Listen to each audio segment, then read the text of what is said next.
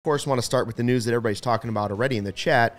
Uh, moments ago, Cubs Hall of Famer Ryne Sandberg announcing that he is undergoing cancer treatment uh, for prostate cancer right now. Uh, so obviously, it's a it's a dangerous thing. It's a scary thing. Ryno with a picture of himself. He's already started his treatment.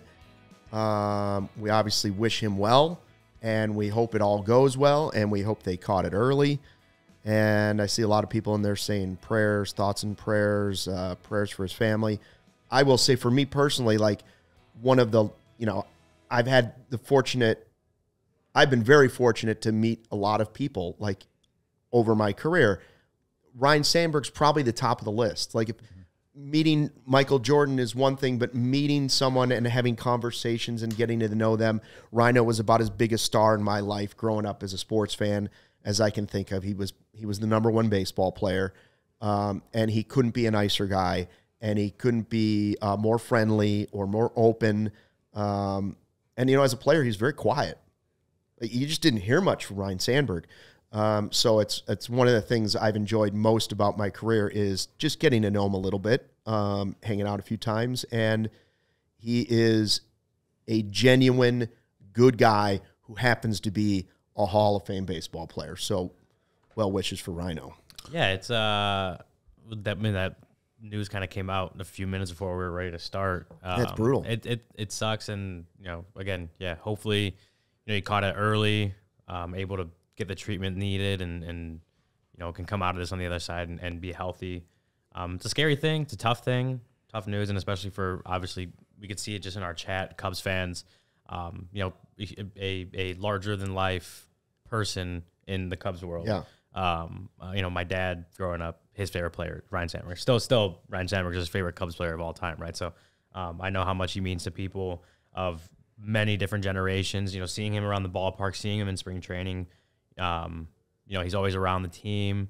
Um, you know, he's getting his statue unveiled this summer. Right. Um, so yeah, just a, a big part of the Cubs organization, a big part of the Cubs world, a big part of Cubs history. And yeah, it's it's you know it's tough news, but and obviously, like you said, you know Ryne Sandberg pretty well, definitely better than either of us too. And but um, you know he's gonna again, hopefully they've been able to catch it early, and can get the treatment, and um, you know he can come out. You know he's a fighter. He's gonna Yeah. go go through it. Well, he's a competitor for yeah, sure, you know. sure. But this is this is the biggest game he's in now, Yeah. right? Somebody in the chat said it's it's beatable, very beatable. It is. It's very beatable. It's very treatable, but it's not always beatable. Yeah. Right. Like it's if it's like somebody saying, "Oh, he's somebody's having minor surgery," until you're the person having minor surgery, and then it's not minor anymore. Yeah, so- and I know people that have you know passed away from prostate cancer, so it's not always beatable. So so yeah, so thoughts and prayers from from our end for Ryne Sandberg and um, you know wishing him well and on this yeah this battle that he's going to be going through. It's it's it's a tough thing, but um, you know hopefully we we get good news in the near future. Yeah. Knowing my mom and how she uses the internet, she probably hasn't learned this news yet. So I'm going to have to text her after the show. But Ryne Sandberg is my mom's favorite player.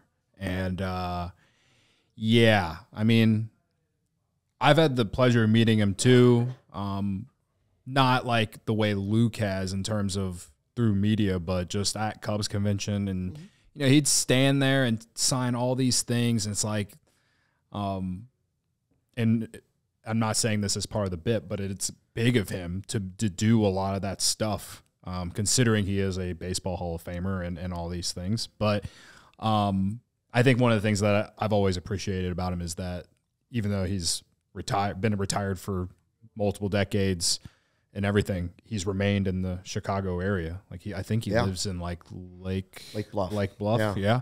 So, um, you know, he's a Chicago guy. Uh, he's one of he's one of us, one of uh, one of all of us, in, in in a way more so than just the fact that he's a Hall of Fame player for the Cubs. And so, yeah, I'm wishing him wishing him well because uh, cancer sucks, man. when he was the manager um, in Peoria, Oh yeah, I forgot. uh, traveled Yeah. around traveled around I with went him to for a week, those right? Like when he was some of these minor minor league manager, and uh, this is just just describes him as a person.